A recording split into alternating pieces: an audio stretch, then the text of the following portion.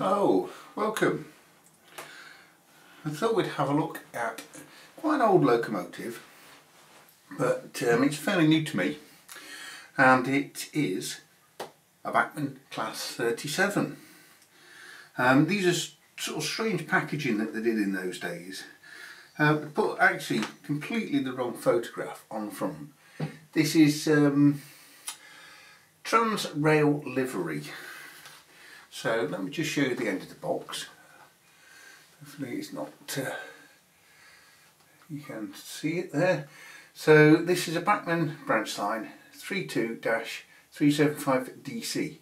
So this was originally DCC fitted um, and analog compatible.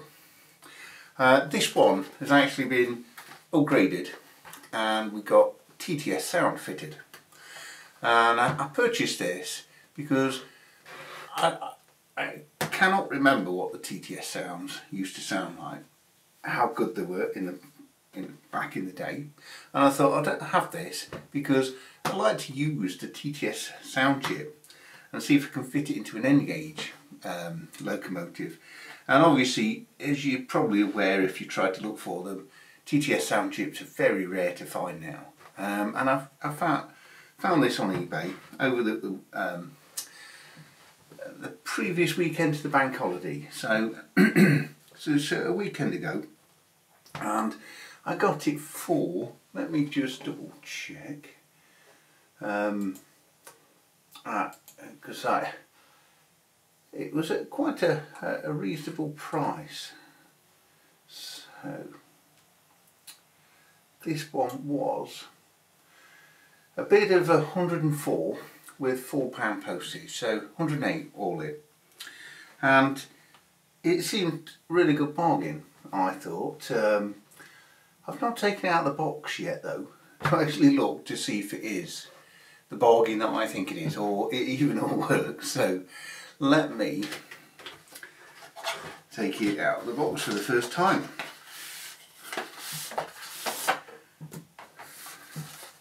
Like I say, you get this uh, strange image on the front of these. So we've actually got some details with this. So this comes with the Class 37, a complete breakdown of all the parts. And what do we have here? So this is DCC on board locomotive. So it gives you all the information on setting the speed settings and a table of the CV values but because it doesn't have the Bachmann DCC chip that's not really useful now. Now does it have any of the sound information? It's got a Bachmann Branchline Farish customer guarantee very well out of date and a collector's club which, uh, nobody ever fills in. So let's have a look. And we've got accessory pack. Seller did say that was there unopened, so that is all completely unopened. Comes with the snow ploughs, all the pipes. There must be some information on the instruction where to fit those. Is a 8 pin DCC um, blanking plate. Now let's get the loco out. Now I really don't like these polystyrene boxes that they, do, that they used to put them in because it's a very tight fit and damage is easily done to the like Got the horns, maybe the aerials. Okay, so this all looks nice. All in a nice condition. Ones are all still intact on the top. Same with all the aerials. Driver included. But not a driver's mate, you know, so obviously for just depot duties then um, on a real uh, run out you would need two. But yes, very uh, very nice looking livery as well. It's not really one of the era eras that I sort of look at. It, uh, it seems to, yeah, we do have sprung buffers. It does seem to be a very nice applied, just at the eye. Um, I'm going to have a proper close-up look under the uh, on a, a, white background. Um, at, uh, yeah, so I, I think the next, uh, let's just have a look underneath. Let's just so we can see the DCC on board. Um, it's quite a bit of oil actually on on the bogie there. I can you know, see. So I think the the seller has sort of lubricated it, but um, a little bit too much. So I'm going to get a cloth and just wipe some of that off and get uh, some cotton buds just trying to remove a little bit of that before we put it on the layout yeah so I'm never actually disappointed in these Bachmann models even the older ones sort of dating back sort of thing. It's just a where's this tooling? 2006 tooling it says this one was. And to be honest okay it's not got all the fancy pieces of the latest ones but if you want to pay two three hundred pounds for a sound you know DCC fitted or a sound loco then you're going to get the latest model. But for a hundred pounds it's like this is a very good quality at this sort of age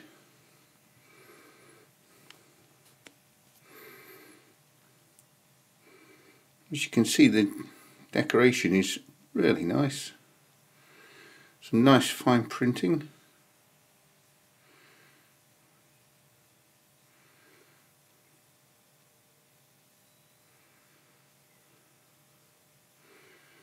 And as you can see all the all the buffers are nice and sprung on here still.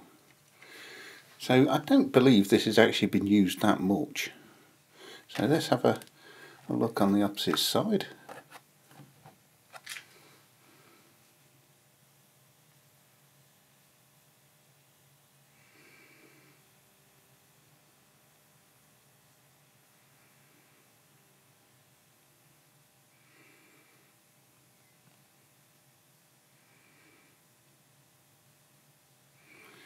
There's some nice detail added.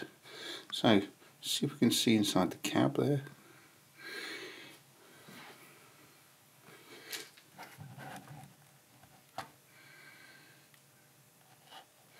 So you can just see the driver. Obviously it would look more prototypical with the uh, all the pipework fitted to the front and all the buffer beam accessories. But we do have some detail on the fuel tanks, nicely printed. And we do have a fan, and as you can see the uh, horns are in place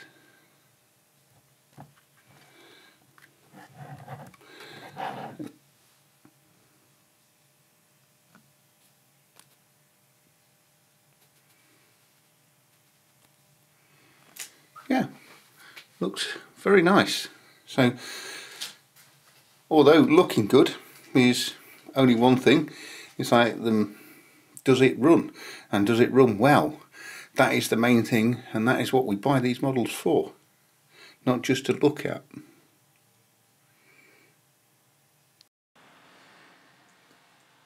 Before we have a look on the layout, we'll just see what the weight is.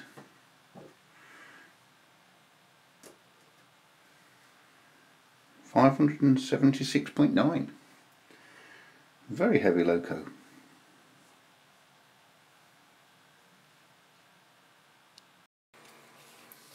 Now I've just set the DCC address back to uh, number 3 for default as I couldn't find any information what the DCC address was set from the uh, seller. So we do have lights, let's put those on. know what direction I'm going then. I'm actually just using um, the Bachmann Dynamis. Um, it's not the best DC controller as it's sort of wireless and uh, if you lose sight of the uh, base unit you lose complete, complete control you know and it just shuts everything off so but it is the only DC controller I've got I know there's a lot better ones out there so so let's just see does it I'm going to go backwards first.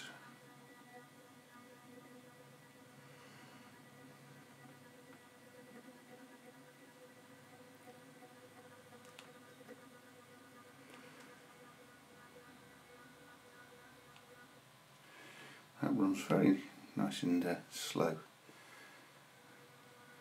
I wonder what it will run out over the points like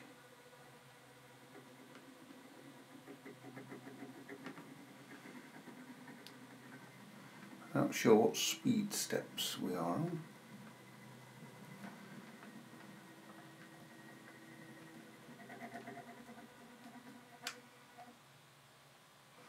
Let's come back.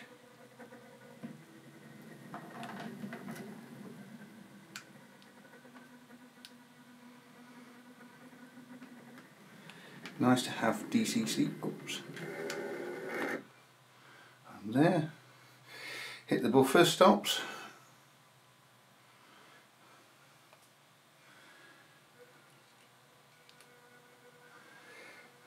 This is where you do want very slow controlled locomotives on a small layout like this.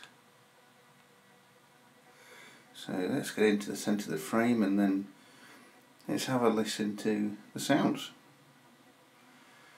That's one of the main reasons I purchased this model. Okay, one to start.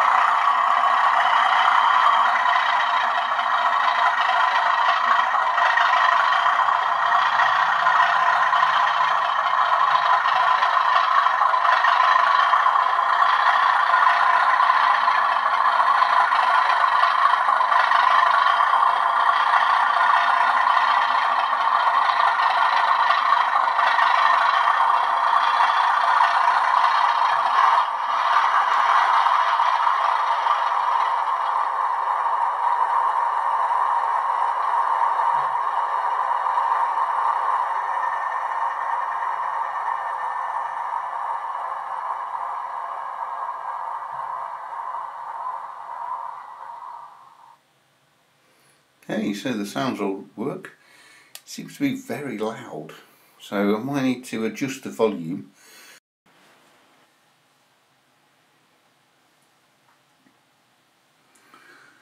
Okay, let's see how it goes through the Peco second radius points. I have three set track points and three streamline points on this layout due to the space. So See how well it navigates these. Um, two of these were second hand. One on the um, one it's going over now, and one on the fill yard. I should have purchased all new ones really for this layout, but I've got them all fitted. They do seem to all work, but uh, I think it would have been better to have had new. So there is a very slight bump on that point.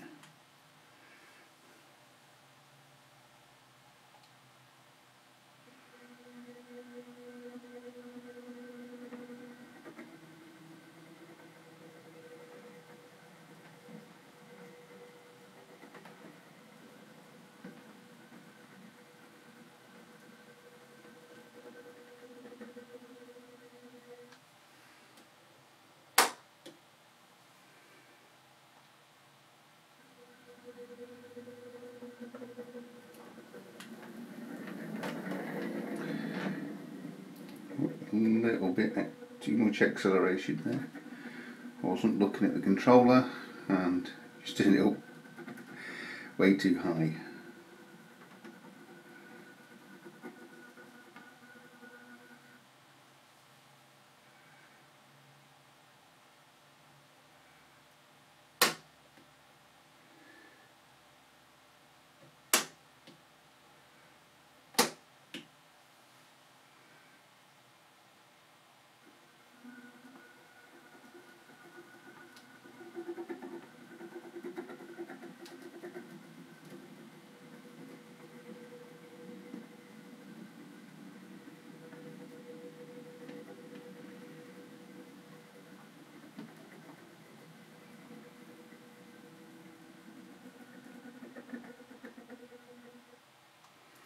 Seems to get a little bit jerky at one set speed. Let's see. So that's sort of its crawl. And then you get to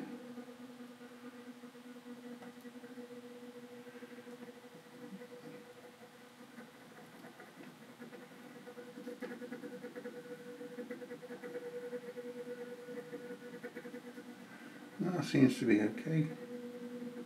That's the sort of speed that you would be expecting to be using it on the layout like this.